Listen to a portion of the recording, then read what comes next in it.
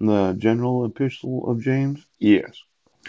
Now, in uh, chapter 1, verse 1, yes, James, a servant of God and of the Lord Jesus Christ, mhm, to the twelve tribes which are scattered abroad, greeting. Uh-huh. My brethren, count it all joy when you fall into diverse temptations, knowing this, oh, that the trying of your faith worketh patience.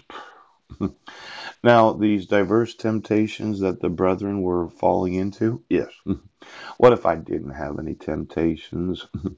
you know, the thought is that if I'm not concerned about the money, yes, because I don't serve mammon, and I know the incentives of every nation, yes, and I have the technology to deliver more electricity than what they're getting for the incentives, yes, there's a good probability they would want to buy my technology, yes, because of the incentives that they're paying.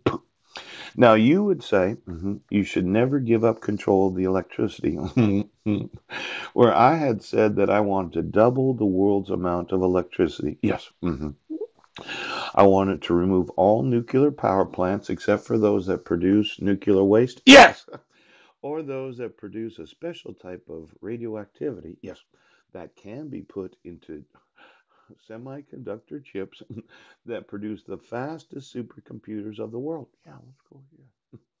Now, for every nation that said, Well, I need some new computers, yes, I would think that as a competitor for the replacement of all known desktops in every nation of the world, the thought of using my chip that is not a silicon chip, yes, it's a desalinated salt chip, yes, that is um, not radioactive.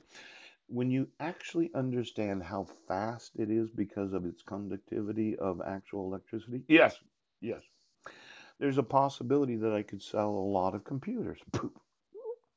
Now, I mentioned gender specific computing. Yes. I mentioned a new operating system that would compete with the Android system. Yes. The Apple system. Yes. As well as the Microsoft operating system. Yes, yes, yes. now, this whole idea of the operating system, yoo-hoo, uh-huh, we know something. What if I produced uh, an actual desktop computer? Yes, that was specifically designed for your body type. Yes, as an employee of any government of the world. Yes, that was faster than any chip in any desktop anywhere. now, Intel would be upset, wouldn't they? Oh, oh, oh. How about AMD? Would they be upset? Poop.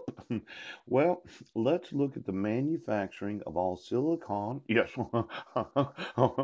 chips that go into every desktop of every government of the world because as I've had to be patient working on this, yes, I think the replacement of all electronics and using my chip could net me out X number of hundreds of billions, quite possibly trillion motherfucking fucking dollars.